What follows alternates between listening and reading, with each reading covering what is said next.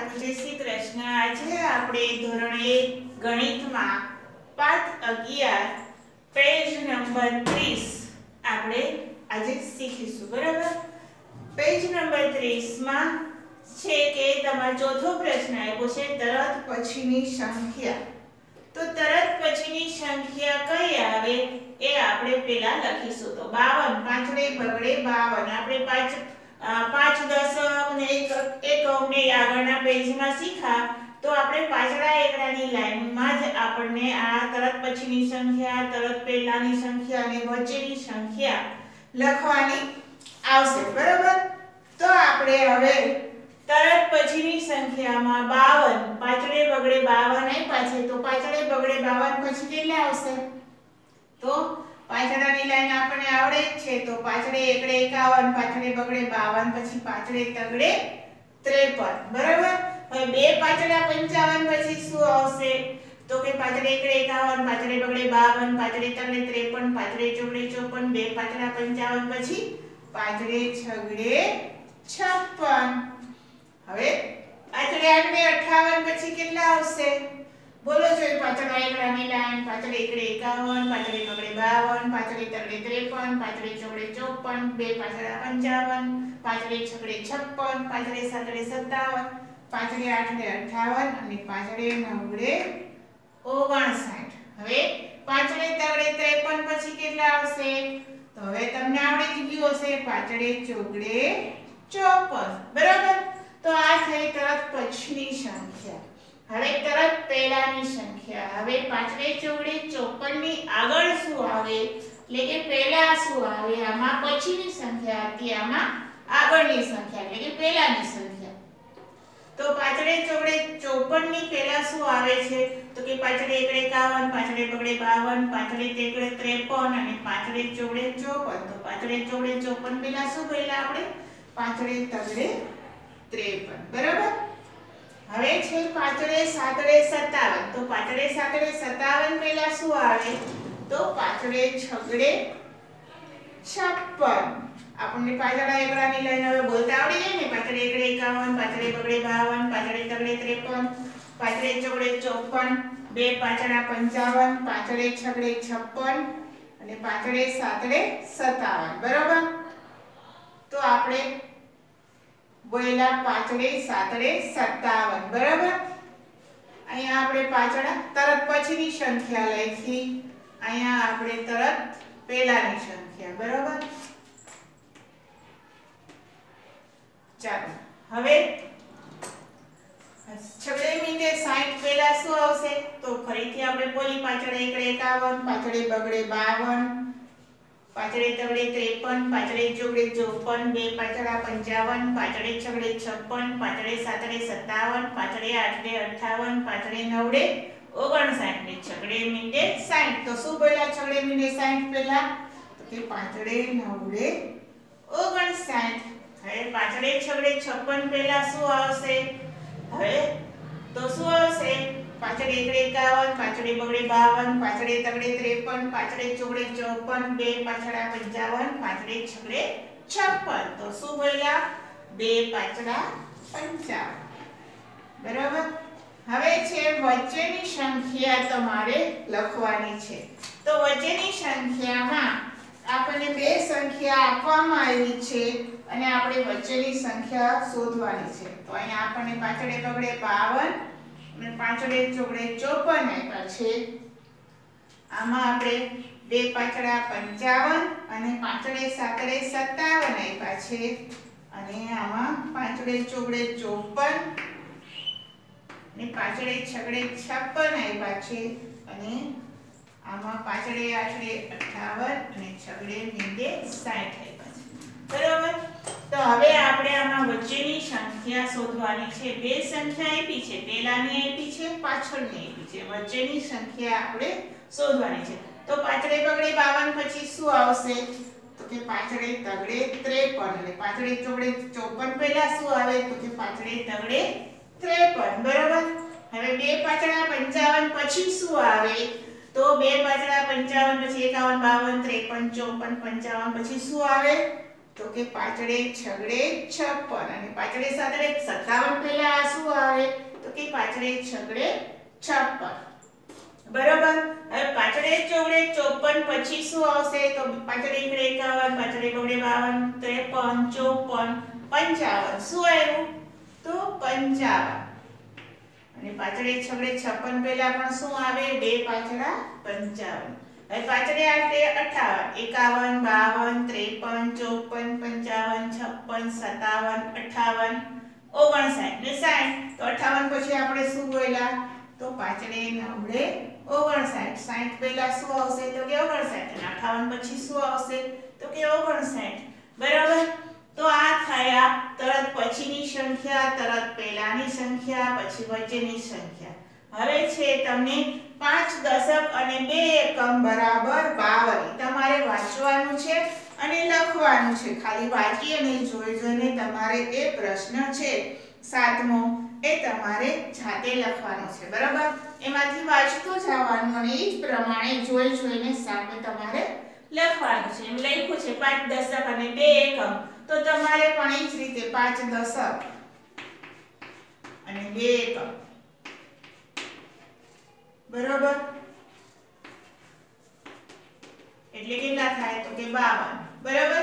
તો એ પ્રમાણે તમારે આમાંથી જોઈ જોઈને લખવાનું છે. ચાલો, હવે છે નીચેના આઠમા પ્રશ્નમાં ઉદાહરણ પ્રમાણે આપણે જોડકા જોડવાના છે. બરાબર? તો જોડકા જોડવા માટે થઈને આપણે જો 50 3 50 3 કેટલા થશે? 53 થશે. તો 50 ને શું કહેવાશે 5 દશક. અને 3 ને શું કહેવાશે એકમ તો 5 દશક 3 એકમ ક્યાં લખેલું છે? તો અહીંયા લખેલું છે. 5 દશક અને 3 એકમ અને 5 દશક અને 3 એકમ એટલે કેટલા થશે? તો કે 53 તો એની સાથે પેલા આપણે આની સાથે જોડીશું. 5 દશક અને 3 એકમ અને પાછળ તગડે કેટલા થાય? તો કે 53 તો એની સાથે જોડીશું. બરાબર હવે 50 1 તો શું થયું 5 દશક અને એક એકમ ક્યાં લખેલા છે?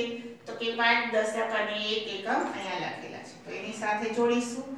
હવે 51 ક્યાં લખેલા છે? 50 ને એક કેટલા થાય? 51 5 દશક ને એક એકમ કેટલા થાય? તો કે 51 તો 51 ક્યાં લખેલા છે? તો એની સાથે જોડીશું. હવે 50 વત્તા 9 તો 5 દશક અને 9 એકમ થયા ને? 50 એટલે શું થયા 5 વાર 10 તો 50 વત્તા 9 એટલે 5 એક 5 દશક અને 9 એકમ ક્યાં લખેલા છે તો અહીંયા લખેલા છે તો આપણે એની સાથે જોડીશું હવે પાછળ નવડે કેટલા થશે? 50 ને 9 59 થશે. તો 5 દશક ને 9 એકમ કેટલા થશે? 59 થશે. તો ક્યાં છે?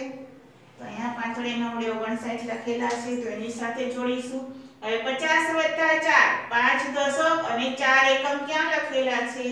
તો અહીંયા લખેલા છે. તો એની સાથે જોડીશું. હવે 5 દશક ને 4 એકમ એટલે કેટલા થાય? 54 તો એ ક્યાં લખેલા છે? તો એની સાથે જોડીશું. હવે શું બાકી રહ્યું?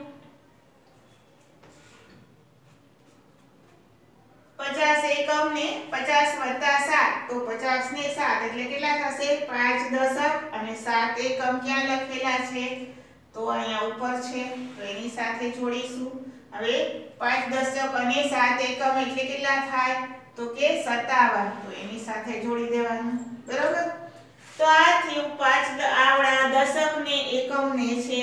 અહીંયા આપણે છૂટા પાડ્યા અને અહીંયા અહીંયા છૂટા પાડીને પછી અહીંયા ભેગા કરીને આપણે લખ્યા અને અહીંયા 50 3 એટલે 53 થાય 50 1 એટલે 51 50 9 એટલે 59 50 4 એટલે 54 અને 50 7 એટલે 57 થાય. એ પ્રમાણે આપણે જોડકાને જોડ્યા. બરાબર? 5 દશક ને 3 7 એકમ એ રીતે જુદા પાડ્યા, અહીંયા ભેગા કર્યા. અને આ રીતે આપણે જોડકા જોડ્યા. હવે એના પછીના સામેના પેજ નંબર 31 માં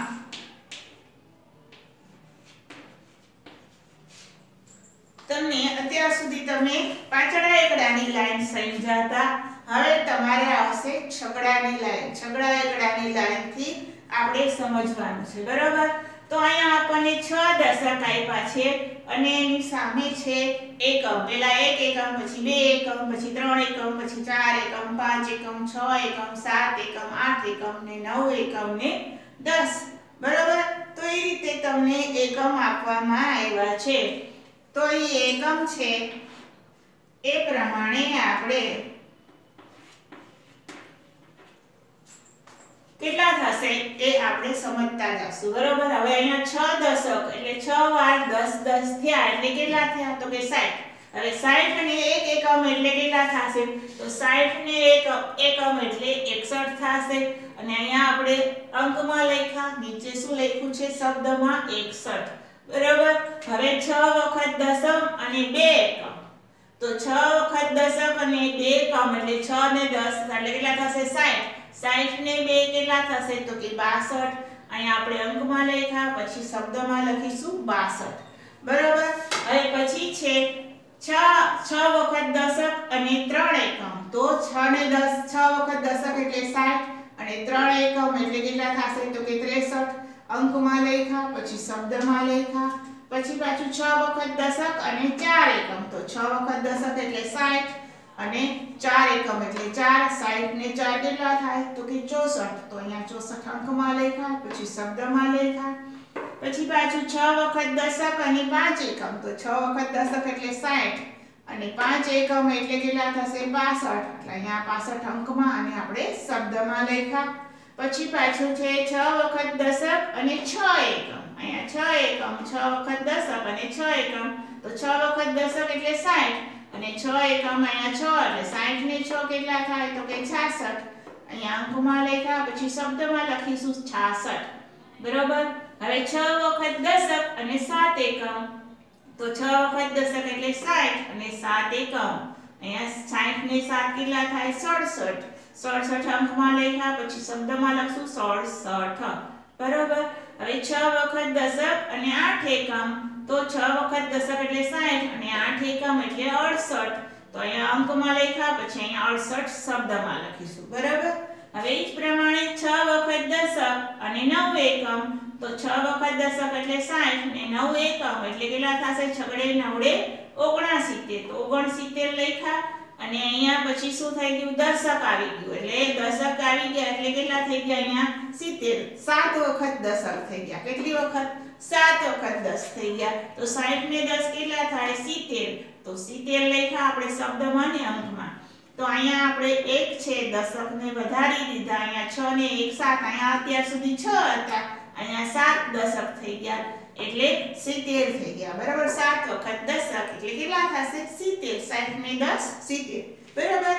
તો આ હતી છગડા એકડાની લાઈન.